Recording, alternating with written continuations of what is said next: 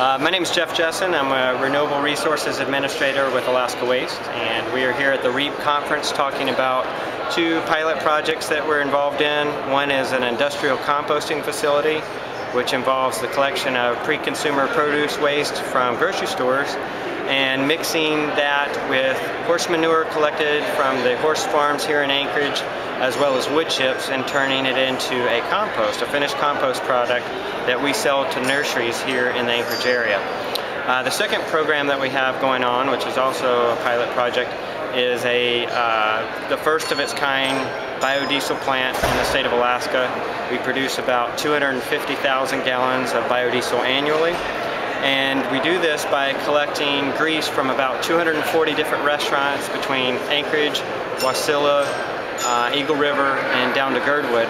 And we bring the grease back to our production facility and we turn it into fuel for our fleet of trucks. We have about 60 trucks or so here in Anchorage that we run off of biodiesel. Um, we take that back.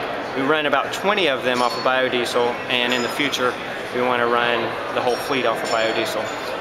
But with both, both projects we're trying to reduce and divert the amount of um, renewables from the landfill, from the waste stream, and prevent produce from entering into the landfill, horse manure from entering into the landfill, as well as the fryer grease that we all utilize at the restaurants here in the local area.